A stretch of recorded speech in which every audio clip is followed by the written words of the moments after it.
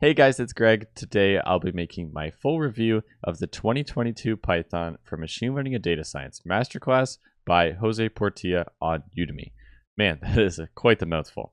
So you'll see right away here, $40 Canadian, and that's even on sale.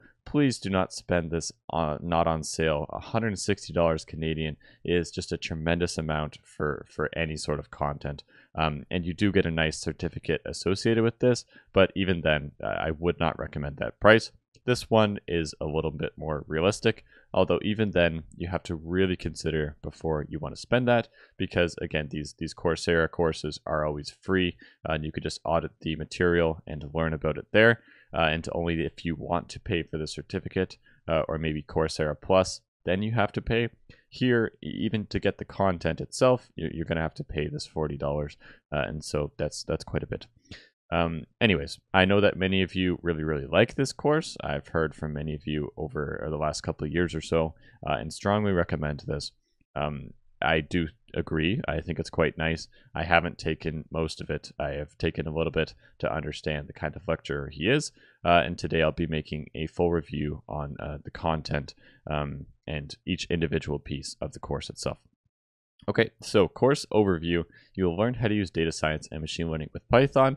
Uh, for those of you that know me, I'm actually not wearing my Python hat today, uh, but I very, very strongly recommend Python, you know, pretty much all the time the other common choices of R or Julia. Actually, Julia is a lot less common. It's it's growing a little bit. Um, R is still pretty common. I strongly recommend Python. If you're going to do any sort of machine learning, it's just going to take you a lot further and be applicable for a lot more positions. Uh, you'll create data pipeline workflows to analyze, visualize, and gain insights from data. That's pretty expected.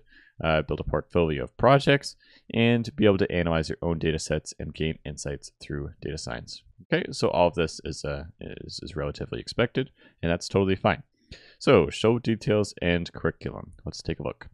Uh, I'm going to skip over that because we've already looked at most of that. Whoa, that's actually a lot, but that's fine. I'm going to skip that. Okay, so 26 sections, 231 lectures, 44 hours total length. That's a long time uh, for really anyone. That's um, to get through 44 hours and really understand that. Uh, oftentimes, you'll be watching things multiple times, stopping it here and there to do your own thing. Uh, I hope I also encourage you uh, to stop where you are sometimes and just go off and do extra things by yourself or try to recall it from memory. Uh, so this is going to take a lot more than 44 hours. Um, and even then, 44 hours of work is a long time but uh, that's good. You know, you, you want to pay for a lot of material. If you are spending forty dollars Canadian, uh, you better get a fair amount of content, and you do. Okay, so a nice uh, nice welcome. Uh, they're setting up Anaconda. I personally do uh, rarely use Anaconda. I usually do other Python things, um, so that I don't use Anaconda. I found I just have some problems with it, but uh, it definitely works and it's extremely popular. optional Python crash course. So if you do need a little bit of Python practice, then you can go in, uh, go in and do that. Uh, machine learning pathway overview. Okay, so just talking about the different pieces. Uh, 10 minutes, he's going to explain the pathway, not too much actual content in there. Uh, the famous libraries that I always recommend, and I completely agree with these choices, uh, NumPy, Pandas, Matplotlib, and Seaborn. You can see here by far, uh, Pandas has the most amount of content. Uh, I'm actually a little bit surprised that you had spent only 53 minutes on NumPy, yet six and a half hours on Pandas. Uh, I can see why maybe Pandas does have a little bit more. I'm not going to look at all of these individual uh, pieces, but uh, this all makes sense to me of why it might take a little bit of time. Pandas has a lot to it, all there. NumPy also has a lot to it, and I may have, I would have probably put in a little bit more effort into the NumPy um, to maybe balance those out a bit, but that's fine. Uh, Matplotlib, yeah, you really don't need to spend too much time on this. And honestly, I, I am again a bit surprised that you would have uh, twice as much content for Matplotlib than you do you do NumPy. NumPy is pretty complex, and there, there's some important pieces. Uh, Seaborn, again, yeah, I'm not surprised that this is uh, this is has two and a half hours worth. There's a lot of different graphs in Seaborn, a lot of different things you can do. Uh, most of it's relatively easy, but it gets a little bit weird sometimes. And yeah, let's uh, let's move on. So data analysis and visualization capstone project. So this is actually a really nice time for a project. They go through after setting up your environment, Python, common Python libraries. Uh, you're able to do uh, very very common analysis and visualization, and so they have uh, a bit of a project there that makes a lot of sense to me. Okay, uh, machine learning concepts overview. So again, uh, some some very common uh, introduction to machine learning type things. Why do we need machine learning? What types of problems does it solve? Uh, the types of machine learning algorithms. So not too much about the the mathematical uh, operations within them, uh, but a, a, fair amount of saying like what different options there are and why you might need multiple. companion book Introduction to Statistical Learning. So this this is a book in R. Um, but you can you can skip the R pieces, and that's probably exactly what he's doing there. Uh, okay, linear regression. Yes, think uh, very happy they have five hours worth uh, of of linear regression because all this stuff is super important. Uh, ordinary least squares, cost functions, gradient descent, uh, Python examples, doing it through scikit-learn, evaluating the models with train test split, um, residual plots. All of this stuff is really, really important stuff. So make sure you spend uh, a lot of time on all of these pieces. This is awesome. And uh, I can see why people recommend this so strongly because once you get here and do all this stuff, um, yeah, even he has regularization in here too, up to elastic ElasticNet, which is really wonderful. Uh, there's even some pieces here that I, uh, I, I would love to kind of remind myself a little bit on um, like how to do this, how to do ElasticNet properly in scikit-learn.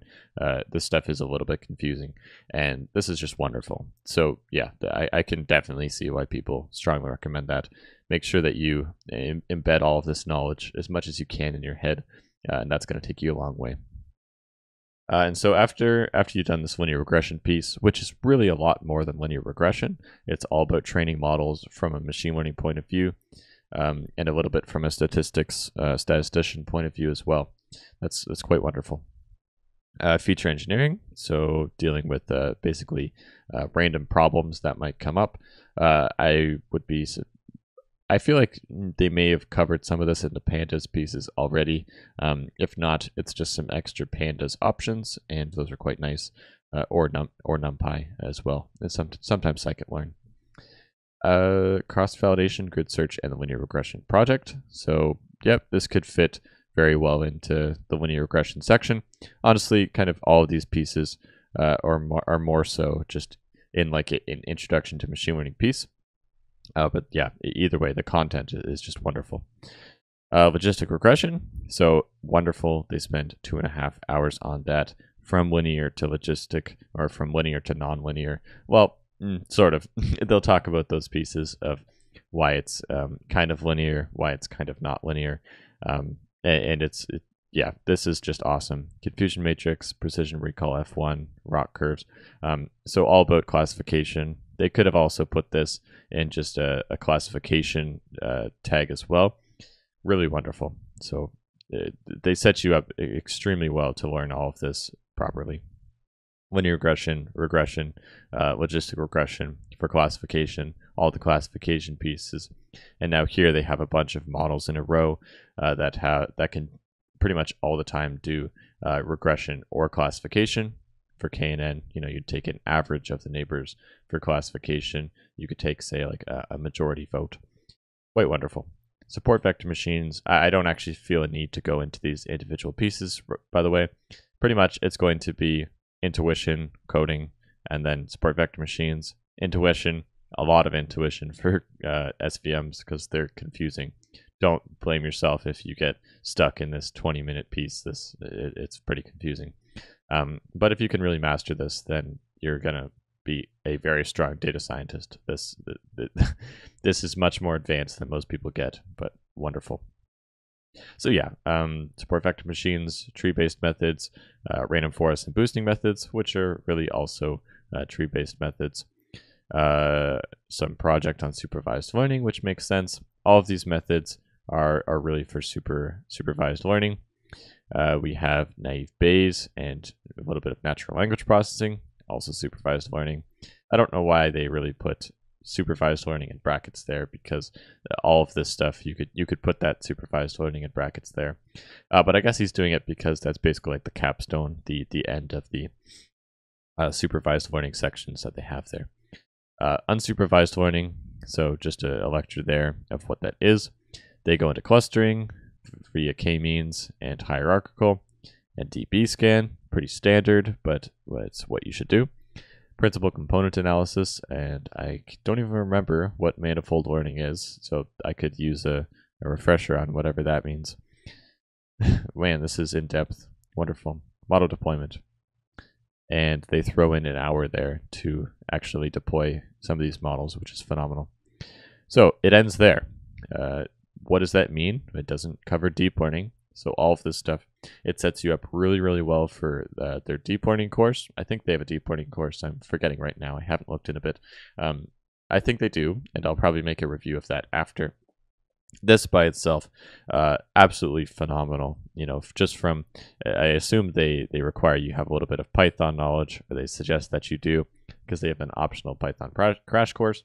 But if you have a little bit of programming experience, you can go through this step by step and just phenomenally understand both the mathematical details to the point that you need uh, and definitely the coding solutions. You will be a significantly stronger uh, programmer after this.